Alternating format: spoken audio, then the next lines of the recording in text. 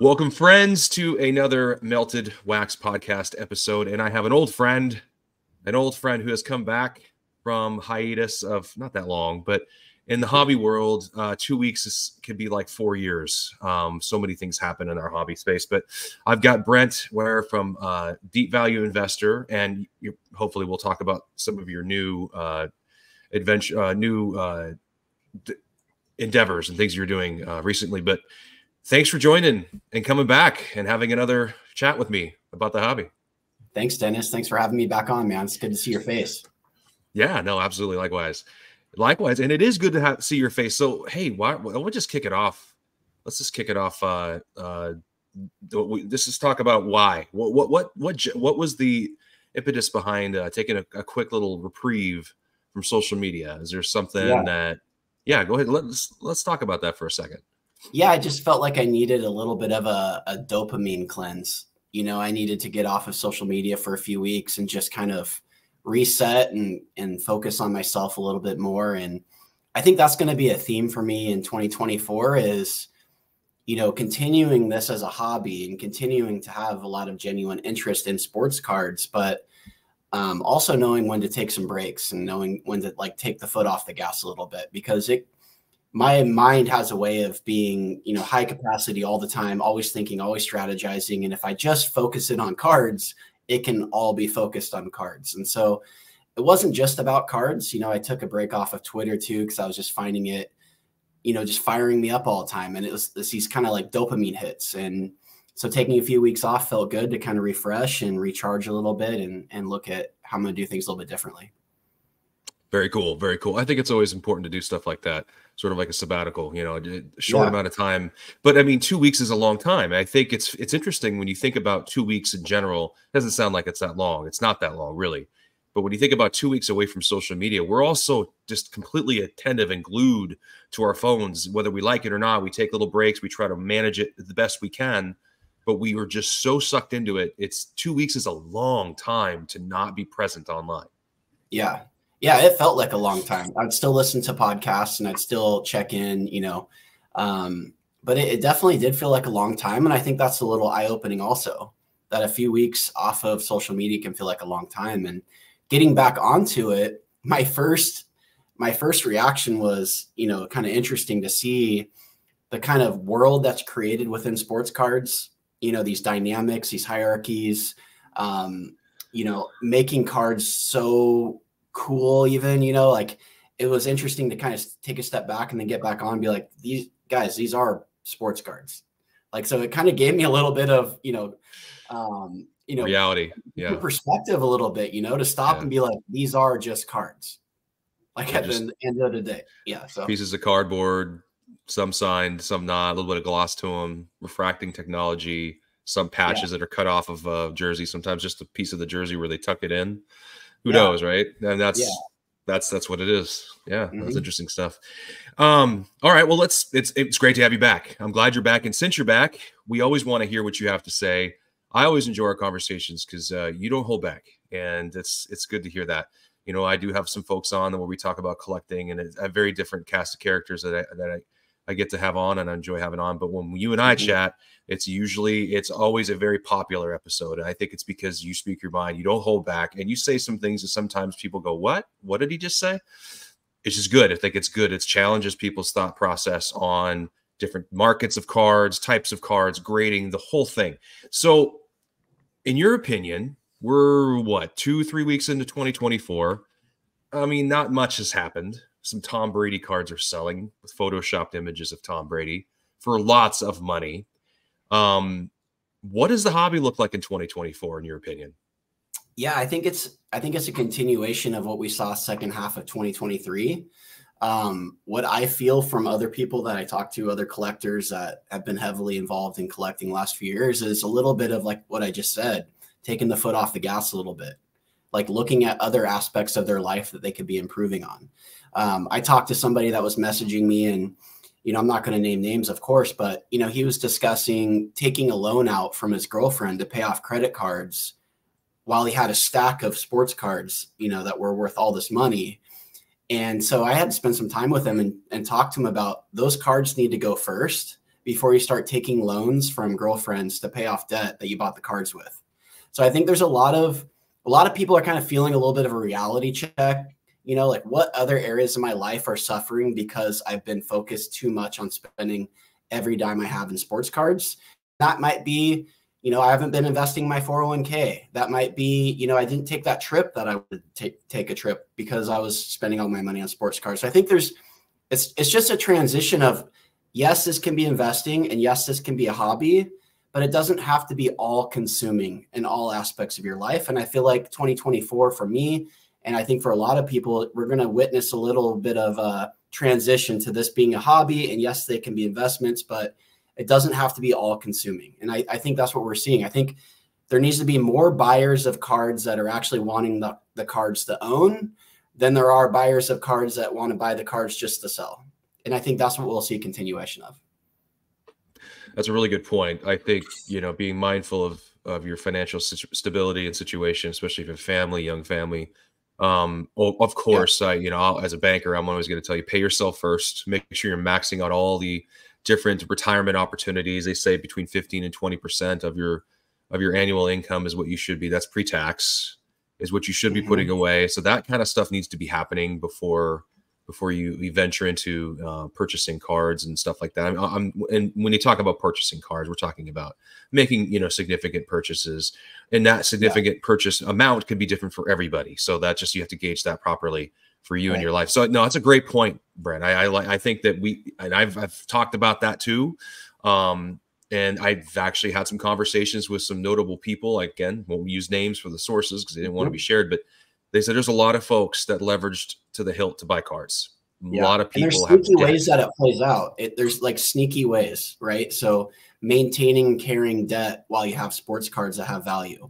You know, like I said, not taking that trip, not investing in your 401k. Like there's sneaky ways that people can, you know, hide the debt of sports cards. I also think 2024 will be a continuation of the Pareto distribution, like we talked about in the past, where you know most cards are on their ways to the dollar bin box. And that's just the reality of most sports cards. I was just looking at a card today. Someone was asking me, it was a, a Michael Harris first Bowman auto. And he has a red. And, you know, I was looking at a recent orange sale and it was like 2,500 bucks. That was a 10 or $15,000 card not long ago. And what's scary is now it's 2,500 and I see no reason why it won't be a hundred dollars in five or 10 years. Like it, that's just the reality of most cards. Right. So, um, I think we'll see a continuation of that. We'll see a continuation of people recognizing most cards, as far as an investment, are not collectible for that. So um, that I think we'll see a continuation of that for 2024. So I was gonna, I, I, was joking with you when I when I asked about you coming on. I'm like, let's do a Pareto victory lab because I, I do feel like the Pareto thought process has aged well into yeah. the latter half of of 23 and the first half of 24, or the first at least few weeks of 24, we're seeing a lot of cards sell. They're selling for much, much less. There was a, a sale last night at PWCC premiere of a Ken Griffey Jr. card. You know, I know the junior market. It's an it's a game jersey card with the actual jersey. It's hand numbered to 24, autographs in a funky spot. Could have been placed differently. But either way, there's not very many of them. It's a high grade nine. There's no nines in PSA. It's a BGS nine. And it sold for about 20K. And mm-hmm. at one point, a couple years ago, that was a sixty-six thousand dollar card. So, mm-hmm. you know, even the cards that are important, that are that are sought after in the local in the community, are still settling, and they're still settling down. And yeah. there might still be a bottom for some of that. So that's something to always keep keep in the front of your mind when you're you're looking at cards like that, even with the Pareto principle in play, right? Right, right, yeah, because you have to ask yourself. So Ken Griffey Jr. is, of course, in the Pareto principle but then you have to ask yourself that specific card is that card important and significant to Ken Griffey Jr. And so that's right. That's always a question. And that's and it, it is. I think when I've been talking to some collectors, and it's funny because that some people. Are, I mean, you know, people that love to keep cards, that want to keep the cards, they want to own them, they want to hold them. The rare ones, the tough ones, they're going. You know, I, I think I have three. Yeah, I used to have like 30 or 40 or 50 or whatever the number is. Yeah. Now I, I think when you know push comes to shove, these are the three that matter the most. These are the three I don't think I can replace anytime I want. Not only just anytime I want, but I may never be able to. Get. I sold a card earlier and I was questioning. I, I didn't think it was that big of a deal until I sold it and realized, wow, I'll never get that back. There's two of them. I won't get it back because there's a very high likelihood I won't get it back. Not waiting a couple years, but maybe never. So those are the type of cards you probably go, eh, I'm gonna really try to hang. I'm gonna work to hang on to these, but there's that's like 0.002 percent. Yeah. Speaking like, of Ken Griffey, I, I think what's been interesting is there's been so much talk around you know more rare and more special, more scarce cards. But if you notice, his 89 upper deck PSA 10 is held strong Right. There's there's a lot of cards where I almost feel like the pendulum has swung so far away from, oh, there's too high of a pop. Nobody wants this card. I'm seeing cards like that, like say an 81 Montana and a PSA yeah. 9. There's two or 3,000 of those, but I'm seeing them just, they're not going down anymore. So I'm seeing, you know, big air pockets and where all those cards, where everyone was consolidating into, you know, those special rare cards, where maybe that $20,000 Griffey should never have been 60,000. But right. now I'm seeing, you know, the PSA 10 89 upper deck holding at 1800 to 2000 and it's not going down anymore. So I find that pretty interesting too in the market. Yeah, and I think that that's sometimes speak like the Montana, the Griffey. You think about some of these big iconic cards. Even the mm-hmm. pop is high. You can't afford a nine or ten, like in the Montana case. That's a pretty big card. The nine is still attainable for a lot of folks. The ten yeah. is actually still attainable for a lot of folks that are spending some of this money they're spending on some of these bigger cards right. for a Griffey 89 upper deck. And you're right, there's so many of them, but it's like when I first got into the hobby, I, I wanted to own that car's first card I bought.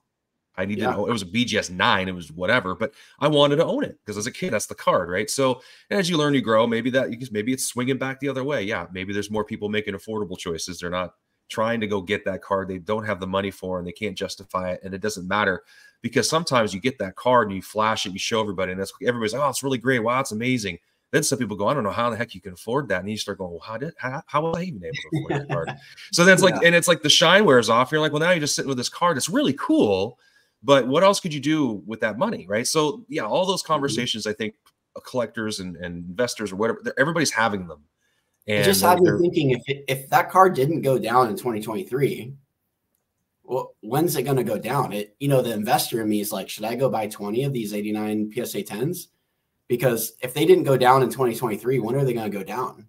It goes against everything that we all talk about. Like pops yeah. high, you know, it's a commodity card, but yet in a, you know, like thinking of other areas of investment, if you got something that doesn't go down in a significant down market, that that just stands out to me. So, you know, it's a little off topic, but I I thought no, it was interesting to point out. No, and that's exactly why we like talking about these things is because they sometimes they tangent.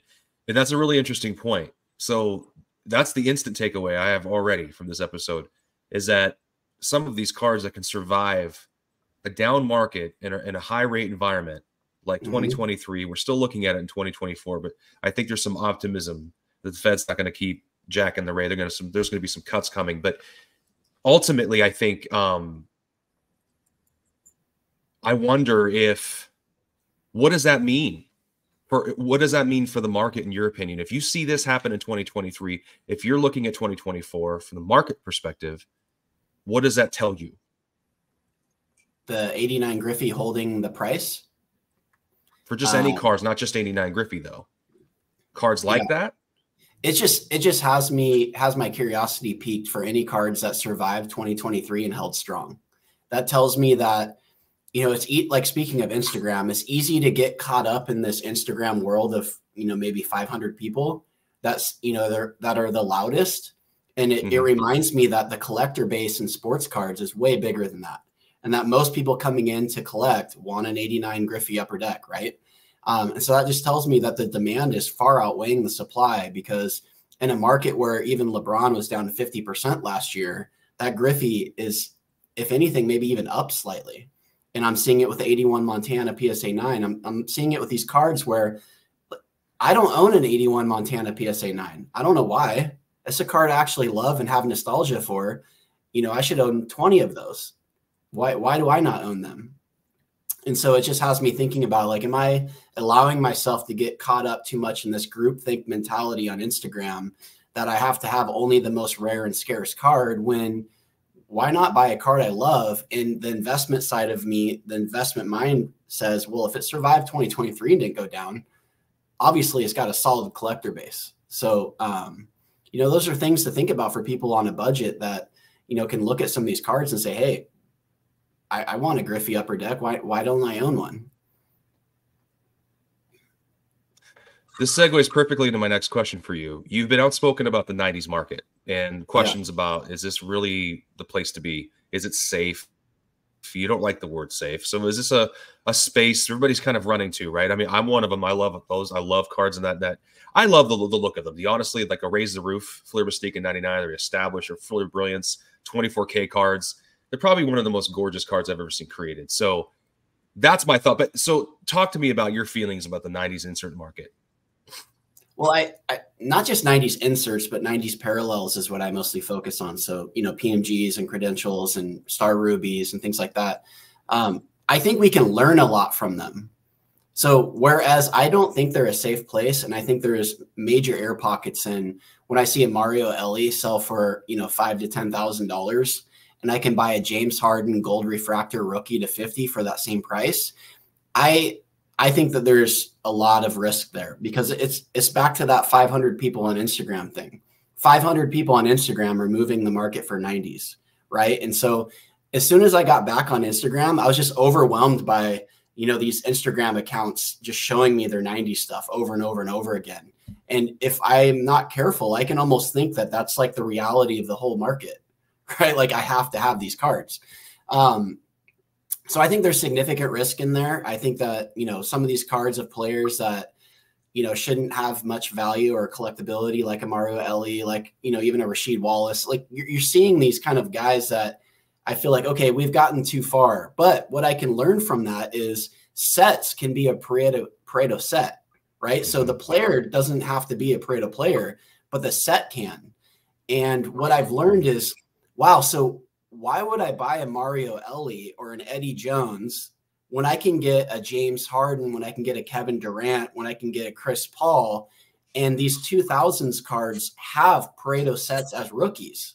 Right. So it's a, it's a really interesting space that if you want to get ahead of nostalgia, there will be nostalgia. If, if there's nostalgia for Mario Elie, you think there won't be nostalgia for Chris Paul? And I can buy his rookie Topps Chrome Gold to 50 right now for two thousand no, dollars, a third of Mario Elie. So I, I just think that it's um there's a lot of group think in 90s. I think that guys that were in a lot earlier um, were very smart, like a Nat Turner, guys like that that were in way before that all this stuff spiked. Um, so I, I think there's an opportunity to learn from the 90s, learn from what's boomed in the 90s, and then you know move forward from that. Right, right. Well, that makes sense. That makes sense. Um, another question that yeah that was uh, on my mind.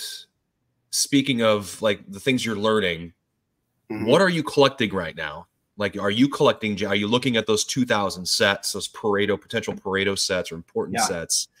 Are there players you're targeting? We talked about your your Blazer um, appreciation from your youth and how Clyde Drexler and, and you know the Duckworth and all those players that mean something to you. Are you still trying to acquire cards like that that mean something to you that may not have the highest monetary value? Or are you targeting sets in the 2000s? Who are you? What are you collecting, and who are you collecting right now? I, have been finding myself targeting sets in the 2000s, especially rookie patch autos, um, gold refractor rookies. Um, kind of going back to my true roots of being an 80s kid. And I just love rookies. And what I really like about these cards is, for example, you know, I'll show you this uh, Kevin Durant rookie patch auto to 99, right? So this card peaked at $140,000, right? And wow. Kevin Durant is going to go down as one of the top players of all time. You know, we're not talking about Mario Elie here or, you know, yeah. We're talking about one of the all-time greats, and I can buy his rookie card and a rookie patch auto with a beautiful auto on it, um, you know, for down 80, 90%. Um, another example I'll show you would be, you know, like cards like these where it's, um, you know, the rookie refract gold refractors of Dwyane Wade and James Harden. So again, we're talking about all-time greats, and it's a Pareto set for those players, and those players are all-time greats. So these aren't, you know, two-time all-stars. These are, if you look at James Harden, you can, you know, laugh all you want about he's not collectible you know, he was runner up for MVP, then MVP, and then runner up for MVP. So we're talking one of the all time greats. And these cards are down 80, 90% because they're not in that nostalgia curve yet. So I'm trying to kind of think about cards that people don't have nostalgia for, but I believe will have nostalgia for in the future and the Pareto sets. Both those sets are anchored by incredible, like the 09 Topps Chrome is the final year of Topps Chrome and it's anchored by Steph Curry. I believe the gold refractors in that set are going to be significant. The 03 Topps Chrome Gold is obviously anchored by LeBron James. So not only are they great players and great sets, they're anchored by incredible players. And I think that's what it requires to be lasting, like a, a 90s Jordan PMG. You know, like those PMG sets were initially anchored by Jordan. That's what brought all the attention to them. Yeah, that's really that's an interesting point. The curve, the nostalgia curve. Yeah. You know, I, I, I understand you make you make great points about being anchored by certain players, great players, but the nostalgia curve hasn't caught up to some of those players yet. Some of them are still obviously are still playing, mm-hmm. but we've already seen that happen with the 80s kids, our generation, the players. That's happened. Now that's kind of come. It's it's gone like this and gone down, reset a bit. Now that next wave will be those players when those kid those people start running into more disposable income or able to you know get back into the hobby. Maybe they stay in the hobby, but they're not collecting as much. They're sort of hibernating, so to speak. Um, that could be the next big you know push is in that that that nostalgia curve. That, that nostalgia curve to me is really fascinating thought it's something I've never thought about. I mean, you think about it because you know that okay, there's going to be another, there'll likely be another boom, and the generational things happen. It just, mm-hmm. just, it's just this is how it works, right? Well, if you um, think about psychology, what's really interesting is we we don't recognize greatness when it's right in front of us. That's just how we are as people. We, you know, my my you know teacher would tell me Jesus could knock on your door and you slam it in his face, right? It's like yeah. that whole idea of like when it's right in front of you, you will not recognize it. And so you see people in the 90s, you know, buying guys that's like, man, I barely remember them. What were they like a two-time all-star? Or I could right. buy, you know, guys that were MVP and have championships, you know, now. But what's cool about the 2000s is their rookies have Pareto sets. So I don't have to reach for it. So an example of this would be Shaq and Michael Jordan are not nearly as collectible. Like, I mean, Shaq is not nearly as collectible as Jordan, is what I mean right? Yeah. But a green PMG Shaq will sell for as much as a rookie Jordan PSA 10. Right. Yeah. So like the set actually overtakes the player in that case. Well, we have that now with 2000s where Carmelo Anthony may not be as collectible as Kobe Bryant, but I can buy his rookie patch auto out of 99, right? For for pennies compared to Kobe Bryant. Mm-hmm. And so it's just one of those things where, you know, it's a combination of Pareto set, Pareto player, and analyzing and learning from the 90s. I'm just choosing to learn what I'm seeing from the 90s, and I'm not willing to take the risk on buying some of these players that I'm, I'm seeing on Instagram daily getting, you know, traded around over and over and over again. That's a good point. I think being careful about when you when you make a, a significant spend, you got to be really mindful of what yeah. you're spending that money on. I think I couldn't imagine spending significant money on a prospect. I mean, real money. The, the some of these quarterbacks. You think about some of the the uh, baseball, the Bowman prospect. I mean, I love Bowman Chrome prospect. I'm a huge baseball guy, but I mean, who's holding the bag for Wander Franco right now? I mean, those cards right. are worth nothing. Right. And what that, if you've spent considerable money on him? Yeah, that brings me when you're talking about first Bowman auto. Something that I was very wrong on is Mike Trout, for example. So I wasn't wrong on Mike Trout being the only player that really has an opportunity to be historic in this this this era. But what I was wrong on is learning about the first Bowman market and learning and just understanding how much those cards get hyped and how much they spike. So now looking back, I I thought at one point if I could get Mike Trout at 2018, 2019 pricing, that was good, right? But now that I've continued to learn about the speculative nature of the first Bowman market, he was coming off of his third MVP at that time. That would be like Acuna winning two more and wanting to buy his first Bowman auto, right? Like just think about how much speculation and spikiness was in that. Um, so now when I look, I, now when I look back at historical pricing, I actually have to also now take in consideration, okay, what was going on in that time frame? How much you know was built into the pricing you know, was that a good time to buy? And so that's where I was completely wrong. So, you know, now what I've learned now is, you know, Mike Trout, Mike, Mike Trout in 2018, 2019 was a, an extremely high speculative bubble coming off of three MVPs. And so just going back to that pricing doesn't make him cheap. Um, so that, that was a big miss, but that's something I've learned. I've, you know, even looking at LeBron, I've been cautious on LeBron lately because I look at his 2019 pricing and I think about, well, how many more titles were built into that pricing then in 2018 19? I'm sure it was probably more than one. I'm sure it was probably more than just that bubble title with the Lakers. So is LeBron at 2018 19 pricing, is that a good deal? I, I don't know. I have to take into account people were probably still thinking he could catch Jordan at that time. I'm not sure. So it's, it's just an interesting to kind of learn and evolve and, um, you know, make mistakes and try to learn from them. That's interesting. So do you think LeBron right now, do you think his prices have settled enough or depreciated enough where he's a someone that you can look at and go, you know, I don't think I'm overspending on him right now? Yeah, I think he's I think he's come down a lot. Um, but my concern is when I talk to other collectors and I get comments like, "Oh, I don't I don't know about the Lakers this year." You know, I'm like, "The Lakers this year? I, I'm not buying LeBron cards because of the Lakers this year." And it reminds me of Brady a little bit. Like we've seen Brady cards come down after he's retired, and it's almost yeah. like this this speculative bubble kind of has to deflate slowly. Like the gamblers and the speculators and the non fans have to kind of come out of that market. And so what worries me is is LeBron going to have his Jordan on the Wizards moment? You know, where eventually people have to give up on him winning more titles. And eventually people have to say, "Okay, I'm buying his cards not because I think he's going to win another title."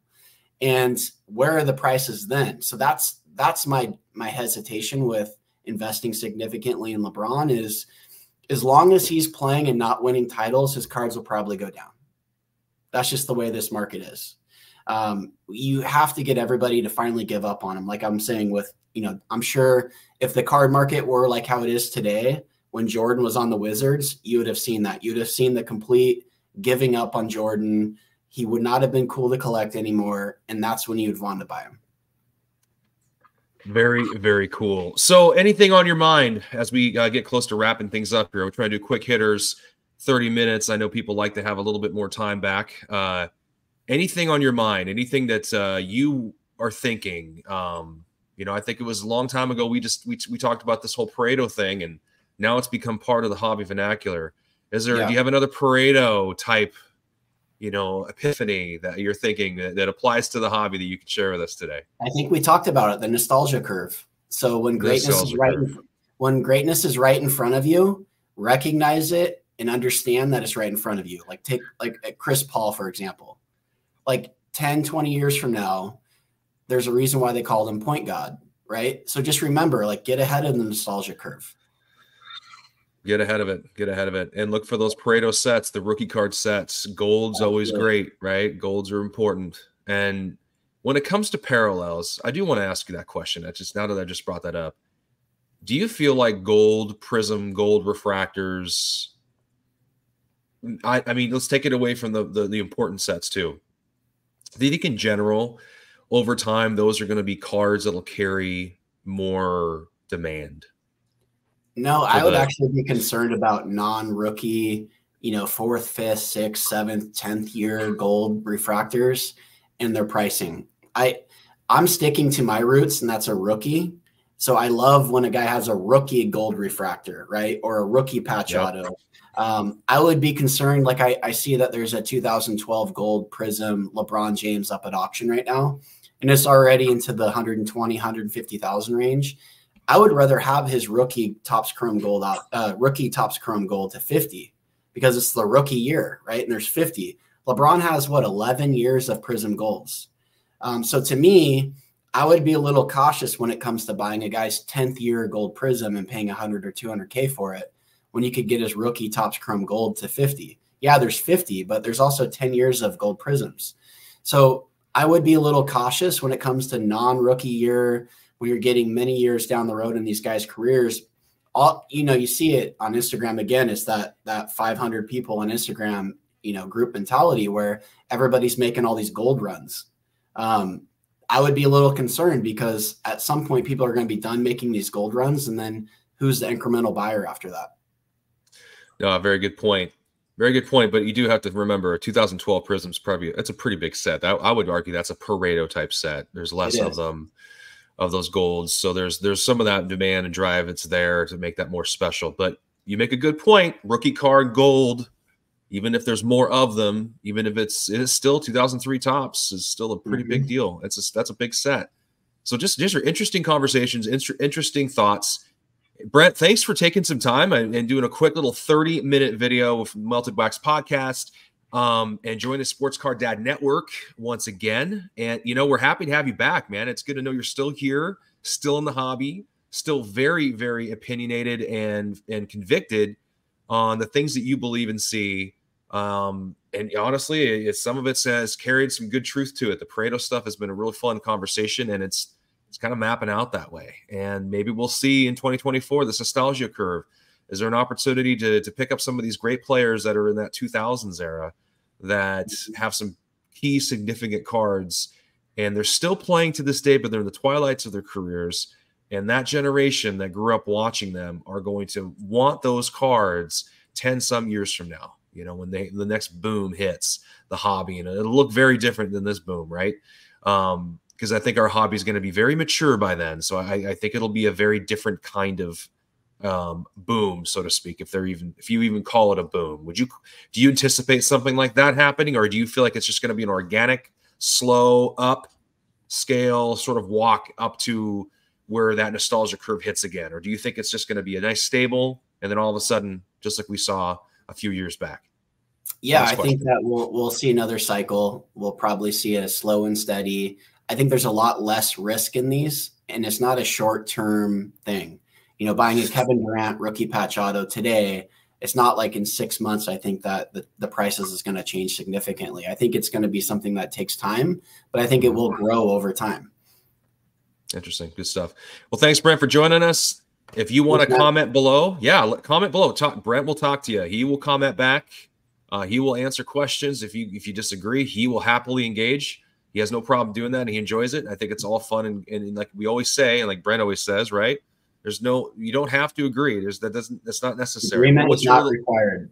Yeah, agreement's not. Yeah, let's have a conversation. Let's talk about it. Thanks for joining us. Thanks for watching enjoy your weekend um, click subscribe like all the stuff you can follow brent at at deep value investor is there a one after it is it, is it still the one just at deep value investor on instagram you can find them on twitter under the same handle thank you folks for joining us have a great day